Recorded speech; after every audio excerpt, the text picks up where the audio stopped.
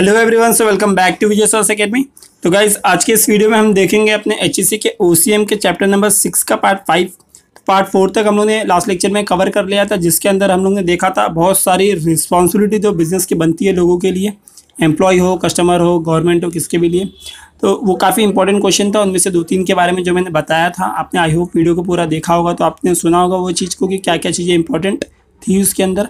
Start करते हैं six point three जिसका नाम है social responsibility towards protection of environment यानी बिज़नेस की क्या ज़िम्मेदारी बनती है अपने एनवायरनमेंट को बचाने के लिए। बिज़नेस हर एक तरह का रिसोर्सेज को यूज़ करता है। सो so, वो उसका ऑब्लिगेशन है ये इसके इसके लिए ज़रूरी है कि वो कहीं ना कहीं एनवायरनमेंट को प्रोटेक्ट करे। वो किसी भी तरह से इम्बैलेंस क्रिएट ना करे यानी बैलेंस हमेशा बना रहे। बिज़नेस क्या क्या करता है? नीचे दिए गए डायग्राम में आप देख सकते हो बिज़नेस एक्सट्रैक्ट करते हैं रॉ मटेरियल को। उसको अच्छी तरह से यूज़ नहीं करेगा अगर रिसोर्सेज को पूरी तरह से। वेस्ट जनरेट करेगा बहुत ज़्यादा। तो ये सब चीज़ इन्फ्लुएंस डालेगा इन्वायरमेंट के ऊपर, यानी कहीं ना कहीं असर डालेगा।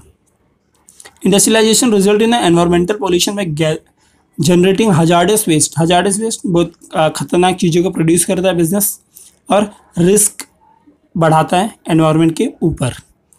Environmental issues like loss of biodiversity releases मतलब बायोडाइवर्सिटी अपनी ख़राब होती है उस चीज़ से और सारी चीज़ों को काफ़ी नुकसान पहुँचता है।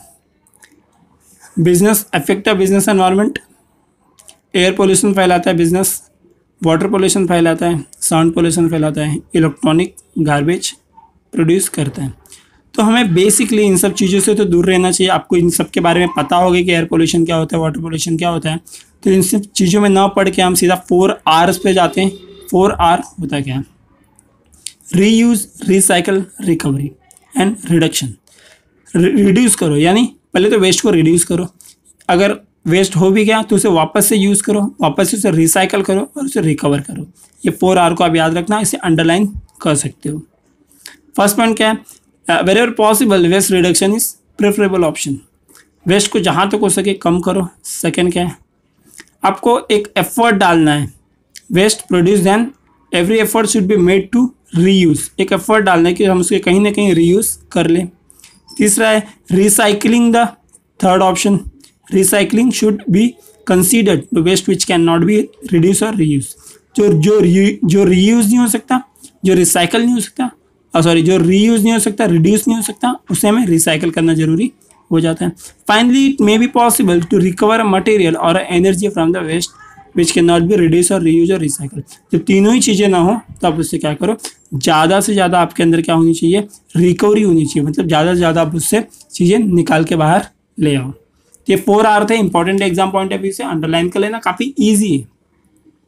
सिक्स पॉइंट फोर देखते हैं आपका बिज़नेस एथिक्स एथिक्स होता क्या है? एथिक्स पहली बात तो ग्रीक वर्ड से आया था, जिसका नाम एथोस था। उसका मतलब क्या होता है? कैरेक्टर क्या सही है? क्या गलत है? इन सब चीज़ों के बारे में बात करें तो हम इसे एथिक्स बोल सकते हैं। सही, गलत की पहचान, ऐसा आप लिख सकते हो वहाँ पे।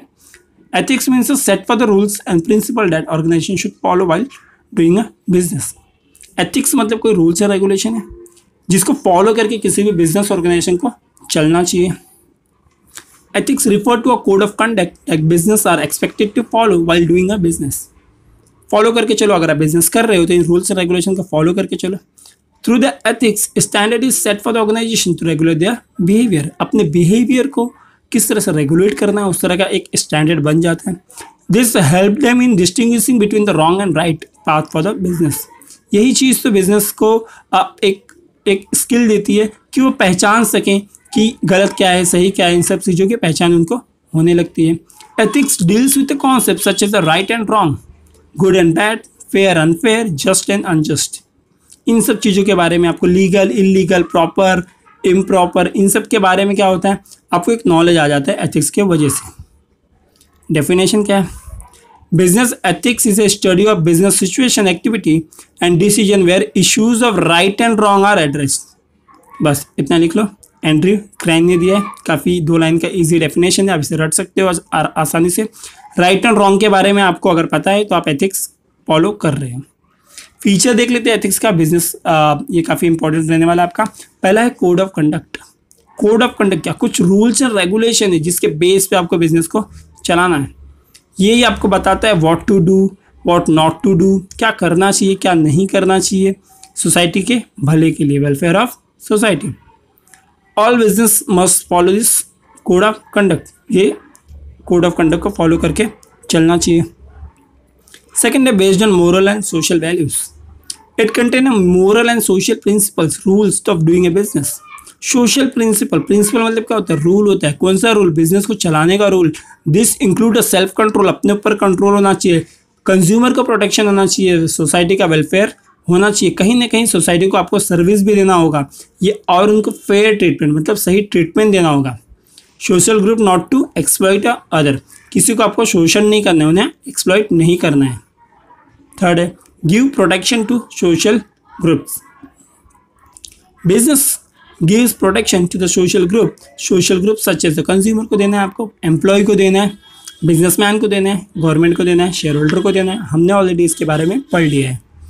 Provide a basic framework it gives a social culture economic legal and other limit of business business must conduct within this limit जो भी आपको इकोनॉमिक लीगल ये सब लिमिट मिले हुए हैं गवर्नमेंट से, इसके अंतर्गत रह के आपको काम करना ज़रूरी हो जाता है। ये भी एक एथिक्स का फीचर है। फिफ्थ है voluntary business must accept business ethics on their own खुद से अगर वो लोग एक्सेप्ट करें वॉल्ट्री मतलब खुद से। अगर खुद से वो लोग बिज़नेस के एथिक्स को एक्सेप्ट करें तो काफ़ी अच्छी बात वो हो जाती है। Business ethics must be like self discipline खुद के ऊपर डिसिप्लिन होना चाहिए। It must not be imposed by law ये लॉ द्वारा एम्फोज न किया गया हो। Require education guidance Business must be given a proper education guidance before introducing a business ethics. The businessman must motivate to implement other ethics. Seven क्या? Relative term business एक like ethics एक relative term है। Change from business to business यानी business के हिसाब से ethics decide होता है। It also changes from country to another country देश से देश भी अपना एथिक्स बदलता है। What is considered as a good in one country may be bad in other country हो सकता है कोई चीज़ हमारी कंट्री में अच्छी लगती हो, मगर दूसरे कंट्री में उसे बैन करके रखा गया हो। ऐसे बहुत सारे एग्जांपल्स अवेलेबल है इंटरनेट पे, जहाँ पे आप देखोगे कि कोई चीज़ हमारे लिए अच्छी है, उनके लिए ख़राब है। जैसे मारुति कार की बात करूँ, जैसे हमारे कंट्री में मारुति नाम से बिकता है, मगर अगर किसी इस्लामिक कंट्री में चला जाता है तो जहाँ पे मारुति एक हमारे इंडियन भगवान का नाम है। लेकिन वहाँ पे पाकिस्तान की बात करें तो वहाँ पे मारुति मेहरान नाम से बिकती है, क्योंकि वो लोग इंडियन गॉड की चीज़ें नहीं खरीदेंगे ऐसा उनके सोसाइटी में। कहीं ना कहीं मारुति बिकना कम हो गया था मे भी इसकी वजह से मेहरान नाम से वो बिकने लगी। At a new concept business is newer concept it is strictly followed only in develop country develop country में इसको अच्छी तरह से फॉलो किया जाता है। And not in a poor and developing country developing country में नहीं किया जाता है। Six point four point four है आपका मोरल एंड सोशल वैल्यूज़ इसके बारे में देख लेते हैं क्या? और values are important because they are help to grow and develop हमारे जो वैल्यूज़ होते हैं वैल्यू होते हैं हमारे, वो हमें अलाउ करते हैं हेल्प करते हैं कि हम कहीं ना कहीं ग्रो हो जाएँ और अच्छे से डेवलप हो जाएँ। Decisions we make are reflected in our values जो हम डिसीज़न लेते हैं, कहीं ना कहीं उसकी झलक हमारे वैल्यूज़ में मिल जाती है। हमने अच्छा लिया है या बुरा लिया है? तो कहीं ना कहीं वो हमें अपने गोल की तरफ़, एक स्पेसिफिक पर्पस की तरफ़ ले जाती है। Social values from the important part of the culture of the society social value एक इंपॉर्टेंट पार्ट है सोसाइटी के लिए। They provide general guidelines for the social conduct values such as the fundamental rights patriotism respect for human dignity personality sacrifice equality democracy etcetera अब किसी के rationality कितना अच्छा है, क्या बुरा है? सेक्रीफाइस यानी हम सेक्रीफाइस करते हैं। इक्वलिटी यानी समानता डेमोक्रेसी इन सब के बारे में हमें वो सिखाता है।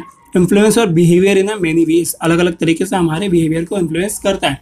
Moral values are based on perception of right and wrong perception of right and wrong social values are often based on tradition ego honestly integrity fairness hard work cooperation forgiveness never hurt anyone ये सारी चीज़ें होने के वजह से किसी को भी कहीं भी तरीके से हर्ट नहीं होना चाहिए। आपकी ईगो कैसा है ऑनेस्टी कैसा है इंटीग्रिटी कैसा है, उन सब चीज़ों से हर्ट नहीं होना चाहिए। They should be ethics behind all business activities हर एक बिज़नेस एक्टिविटीज़ के पीछे कहीं ना कहीं एथिक्स होता है। Rules are created by the society regarding what type of activities business should do and what should not. Society rule बनाती है कि किन, किस तरह की एक्टिविटीज़ बिज़नेस को करना है, क्या सही है, क्या गलत है।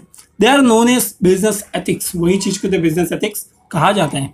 Honesty transparency fairness integrity create goodwill it gives a economical gain and long run लंबे समय के बाद, आज आपको सब चीज़ फॉलो करने में तकलीफ़ होगी, मगर लंबे समय के बाद एक अच्छा इकोनॉमिक गेन आपको मिलेगा, यानी पैसे कमाओगे।